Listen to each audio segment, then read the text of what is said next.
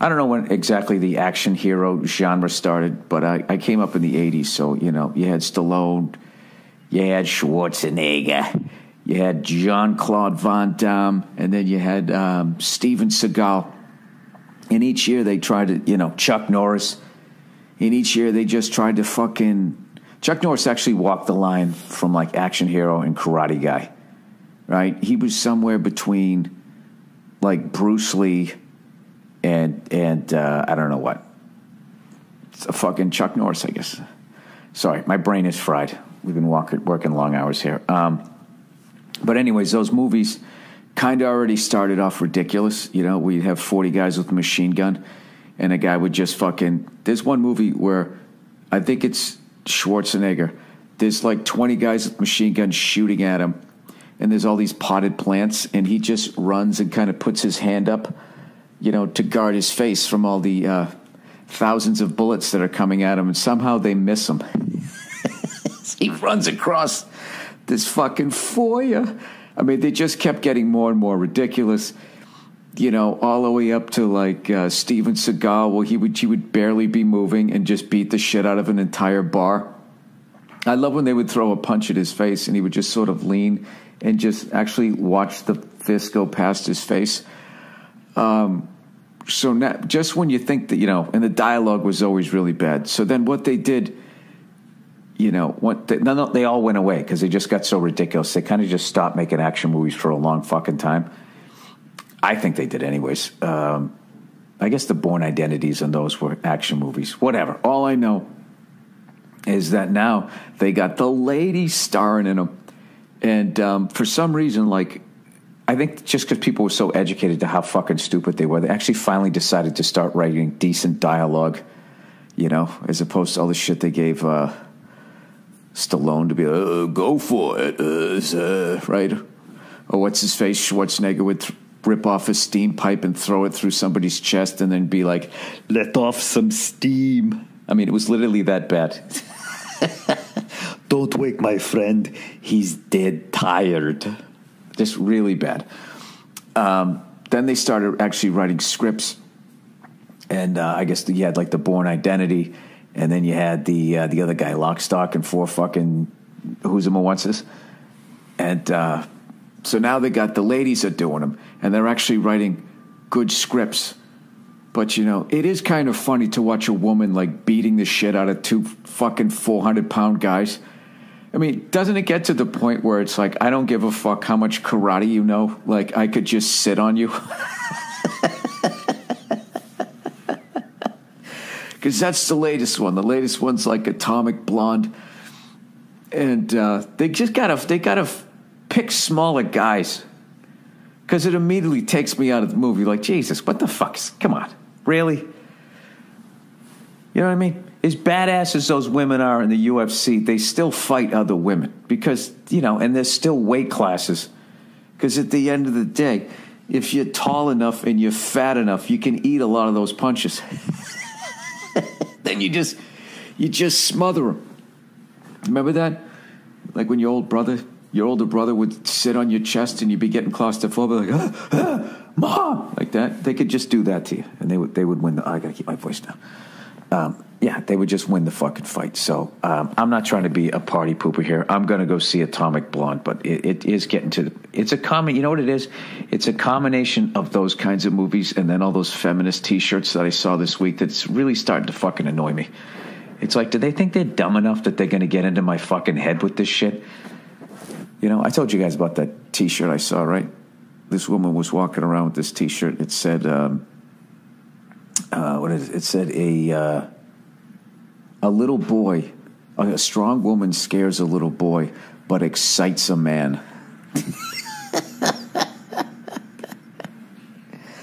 like, what kind of guy would fall for that page one horseshit psychology? Like, I'm going to be, oh, I want to be, I want to be considered a strong man.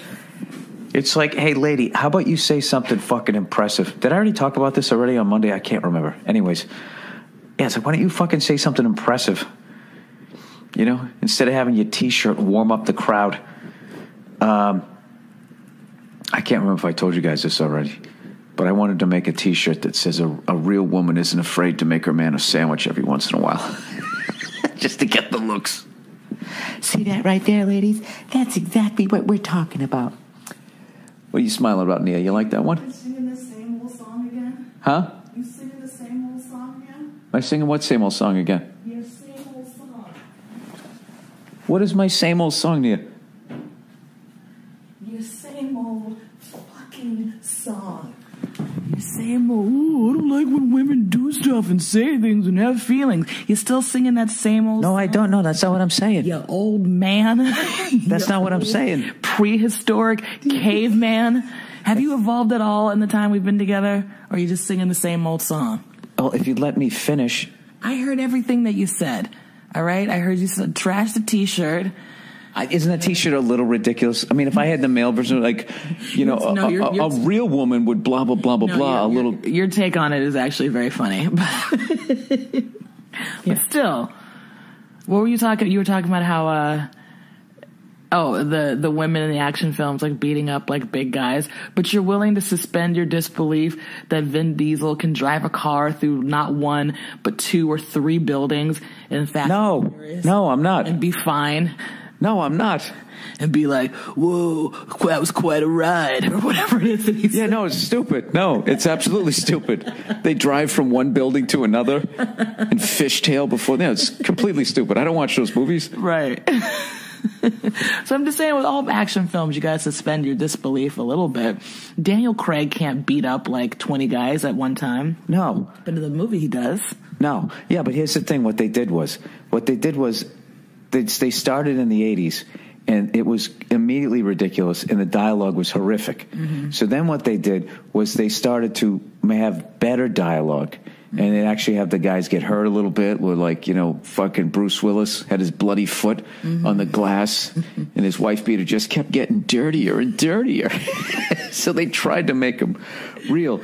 But I'm just saying, when I was watching that Atomic Blonde, she's like beating the shit out of these two guys. They're like 260 pounds each. Those guys, Yeah. once they get their paws on you, I don't give a f- if you if somebody outweighs you by 100 pounds. Once they get their hands on you, it's fucking over.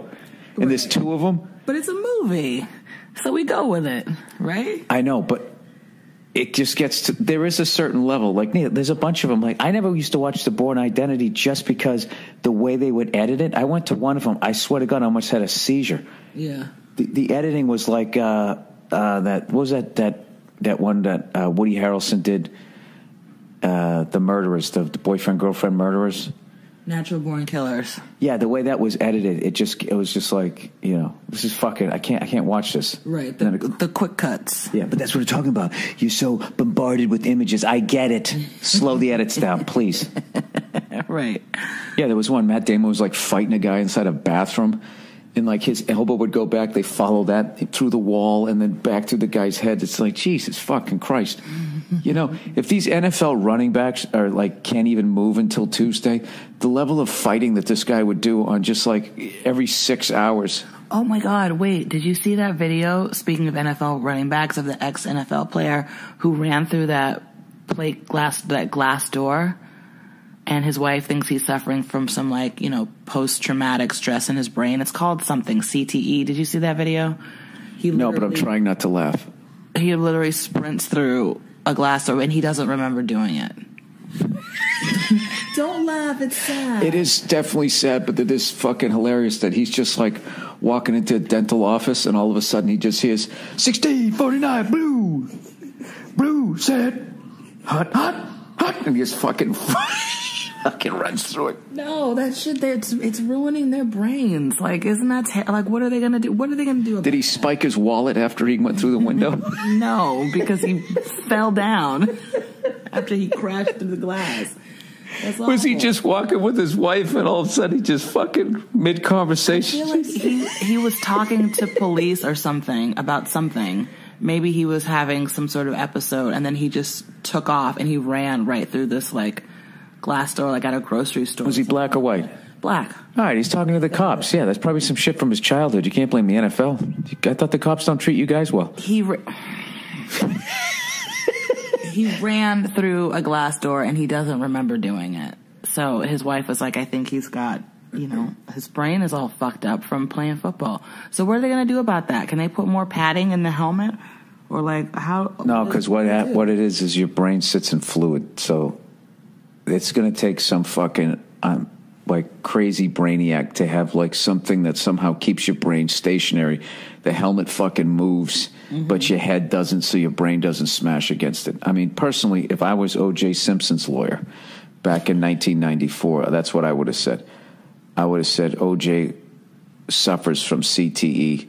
He had been watching the cooking channel or this Ginsu knife commercial, and he just got a little confused. Right. Well,